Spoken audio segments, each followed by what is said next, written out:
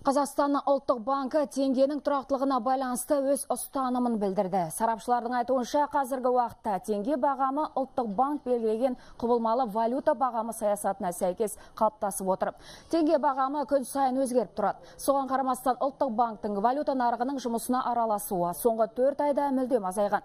Болашаққа болжам жасаған мамандар ең алдымен шикізат нарығындағы және Қазақстанның негізгі экономикалық серіктестері Ресей, Қытай мен Евроодақ елдерінде жағдайды ескергендерін айтады.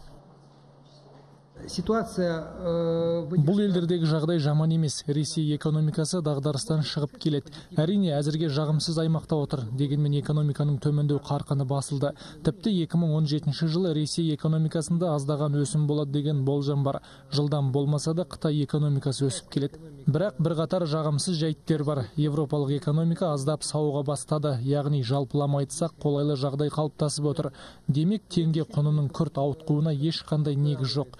Соңғы бірнеше айда теңге бағамы тұрақты тұр Ал банк нарығындағы жағдайды сараптаған мамандар кейбір қаржы институттарының бірігуі мүмкін екенін растады. Ұлттық банк өкілдері еліміздегі ірі коммерциялық банктер Қазком мен Халық банк акционерлері арасындағы келіссөздерге де түсініктеме берді. Ұлттық банк бұл келісімшарт барысын мұқият бақылап отырады. Біз үшін салымшылар мен шетелдік инвесторлар алдындағы міндеттемелердің мүлтіксіз орындалуы өте маңызды.